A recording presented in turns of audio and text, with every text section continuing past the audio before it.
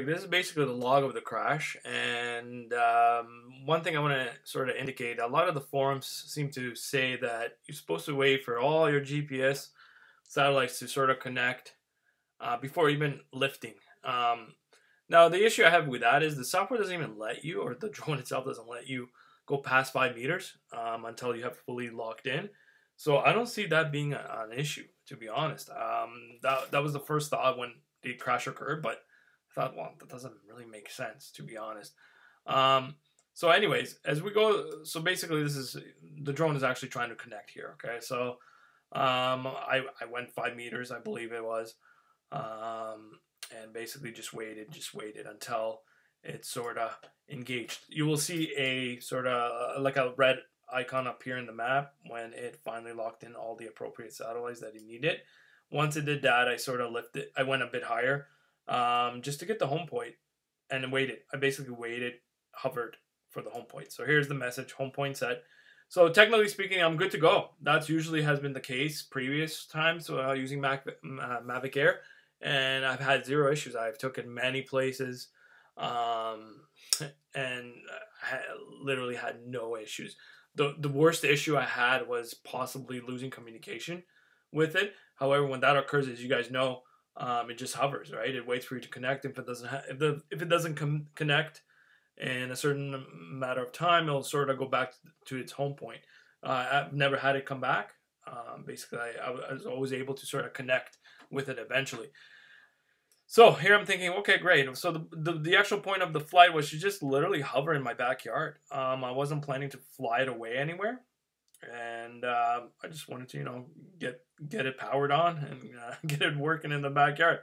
And uh, as you can see here, I'm sort of uh, I'll rise it up above the house. I just wanted to get it higher uh, than the actual house, so I am sort of adjusting it, moving it back and forth a bit, making sure everything's okay. Um, and then uh, as I got to the point of I, wanted to get it about maybe ah 15 meters, possibly 15 to 20 meters up in the air. Um, and as I got it to where I wanted it, this is where the strangest thing ever happened. I've never had this occur on an expensive drone. Let's put it that way. Um, on a pricey drone. So basically, here, uh, the drone literally just, it's like somebody took my remote, switched to sports mode, and just took off. All right, I'm looking at my remote. I'm thinking, what the heck? First of all, I'm thinking I got to get more height because there's tall trees across the road, which I wasn't even planning on going. Um, so I'm trying to, as you can see, the joy, joystick pad. I'm actually lifting it, but nothing's really. It's not as response. Like uh, I'm still thinking I'm connected, but uh, it's not flying the way I fly it. Let's put it that way. I've never done sports mode, first of all, and I've never seen it go this fast. So I assumed uh, it's in sports mode. And basically, here I'm thinking, whoa, something is wrong. As it got around this point, I still had perfect vision of it. I tried to actually switch it on sports mode on the on the remote. Uh, I read on many forums way back when that if you engage it in sports mode, it should the drone itself should disengage what it's actually doing. However, in my case, nothing happened. All right. Absolutely not. So it's still going. So here, as you can see on the joy joy pads, I'm thinking, well, I kind of don't want to go that high. It was actually lifting higher than I wanted it to go, and basically the altitude. Uh, I I in this and when I'm in my own neighborhood, I don't go um, and fly it around past 30 meters. Okay, so and it was around that and it kept going higher. I felt as though the speed was uh, it was crazy fast. I've never gone past.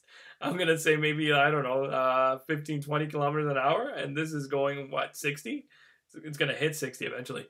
So um, nothing I can do really. I have zero control. Uh, didn't even indicate that that the uh, connection was disengaged. It usually tells you the downlink downlink has been lost. That never occurred.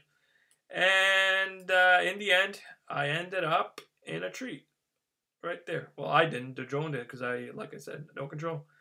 And the rear, it actually hit the rear. The rear was all done. Um, the front was fine, the camera and all that stuff. So the moral of the story is um, Mavic Air is an issue. I honestly think they have an issue. Um, and I bought into the whole marketing scheme of the Vision Compass, which I think is the issue here. First of all, it's not the GPS. The GPS, they were all locked in. I got the home point and it was correct. Um, so it was fully connected with the GPS. And the other issue that people usually mention is the wind. The wind wasn't the case. It was uh, there was literally no winds. Five kilometers an hour, I think, on the on the very bottom. About if you go 50 meters, which I never even reached, even when this one took off, it never reached 50 meters. If you go 50 meters, uh, it was about 17 kilometers an hour. I've done 45 kilometers an hour, and it would and there was no issues with the drone. So, having said that, the only thing that's sort of left over is the compass. Now, the Pro version of Mavic have two actual compasses on board. All right, so this one, the, this one has a thing called Vision. You look it up; it, it's really not a compass. So be careful if you got a Mavic uh, Air. Um, I certainly wouldn't go buy it again. It's fantastic. I love the look of it. I love the size of it. I love the fact that you can travel with it, but it's a dangerous product. To be honest with you, it is a dangerous product.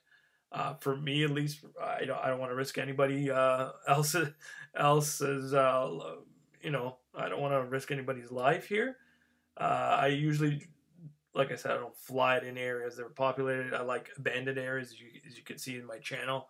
I like to get shots of abandoned areas etc. However, um, I would not suggest this for even abandoned areas because it will end up in a tree eventually. Uh, it didn't do it first 50 flights, um, but that 51st is the one that did it. Thing I just want to point out before I close this video is basically if you read what a compass error usually does, it, it, it sends the drone in sort of a critical mode, and basically it, when you look at this line of flight, it, it looks like a toilet bowl. That's what they refer to as toilet bowl flight. Uh, so it's definitely compass uh, related. Um, as for the, um, I was mentioning winds earlier in the video. Um, those are gusts I'm talking about. So that's as fast as uh, it should be up there. So there's no way. I'm telling you, uh, it was. Uh, there's no way at 17 kilometers per hour at 50 meters, which I never reached. Um, the drone would have taken off such as the way it did. And so, anyways, I just want to close the video on that, just to show you sort of uh, the um, the uh, there's my home point as I mentioned, it locked in, and this is where it sort of uh, it took off from here. Uh, it actually sent back battery information, which was interesting. Uh, it did send back information, even though the remote wasn't connected. I was sending stuff back, or uh, there's the altitude uh, showing meters here. So, uh, like I said, I don't go past 30. Interest, interesting enough, I was freaking out because it looked like it kept just going up to me where I was standing. And uh, this is where I tried to switch it on sports mode around here, as I mentioned. And just before the crash, um, as you can see, it was descending. Uh, we're at 20 something meters. And uh, yeah, so, anyways, I just wanted to finish the video there. There's the tree it ended up in. And uh, be careful, guys. Buy insurance if you can. Um, I know um, DJI uh, provides refresh. Uh, if you're uh, buying the air, get it 100%. um, and if you're buying it through a regular store, get their insurance. It, it, unfortunately, this this is gonna occur. I'm telling you right now. I don't want to jinx anything. Maybe I had a bad uh, product. Uh, I don't believe it is because I don't believe in Vision anymore. Uh, the way it was sort of marketed, I kind of fell for the ploy. Anyways, good luck, guys. Safe flying.